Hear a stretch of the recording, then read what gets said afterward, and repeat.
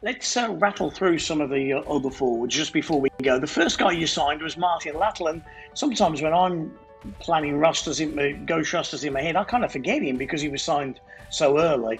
But but coming to the UK for the first time and another guy who skates well, that seems to be a trait of this team. It's going to skate well. Yeah, I mean his his skating is. I mean I don't.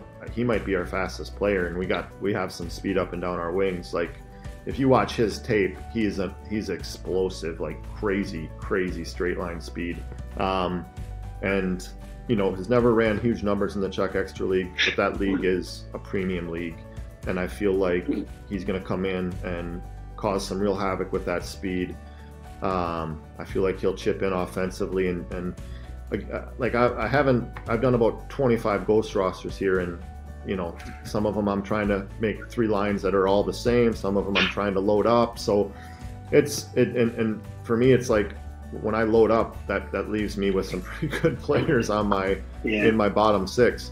Um, so I, I, I, like I said, that versatility I think is going to be huge for us, and I'm really really excited for for Martin to come in. Speaks English really really well, and uh, I mean I don't think we've we've went wrong with the Czech situation so far.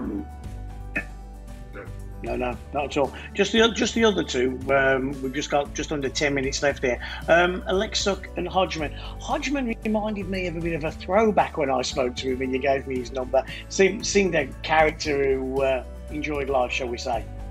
Yeah, um, I, Haji's going to be a good player for us. Six six three, skates well for his size. Great face-off guy. Played in all the top leagues. Um, you know, again, I think he's going to be a, a, a, really, really, really high-end guy in this league for us. And same as same as you, when I've had conversations with him, I've I've enjoyed them. I think he's uh, he he should be a, a good character to have around our group. Yeah, and Aleksuk. Yeah, Travis is a winner. Um, you know, I think that's the reality of, of Travis. When I watched his game, he's just one of those guys who does absolutely everything right. Um, not a cheater plays a defensive first game, but then also when he's in the O zone, he'll make plays, great in small areas, can be a net front or a um, goal line PP guy. You know, good on again, good on faceoffs, can play both both forward positions, center or wing. So some great versatility there, and and just he's just one of those glue guys that you know teams that win need. On the two way guys, I think uh, I think right from Kurt, Kurt Bracknell, we've now got Cole Shudra. Brandon Whistle sort of seemed to come out of the blue.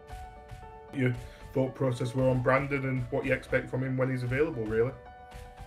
Yeah, I mean, I think Brandon's a guy who has put the work in and is looking forward to a, a second chance, and I, I, I think that's great. Um, you know, he's he's motivated to help us if possible when he's available to. Um, and you know, Cole's been on the ice the last four days with us, and it looks like he's in great shape. Has looked really, really good. Um, so again, when you when you have a roster size of 19, the, the, you, are going to need some flexibility there. And with those two guys, I think it's uh, it's great for us to have. You know, um, Cole, I think predominantly would prefer to be a forward moving forward here this year, and you know, with Mosey, if we lose a D, I can move Mosey back and then have one of Cole or Brandon with us, whoever's looked good, played well, and you know, I'm sure they're both going to get games, plenty of them.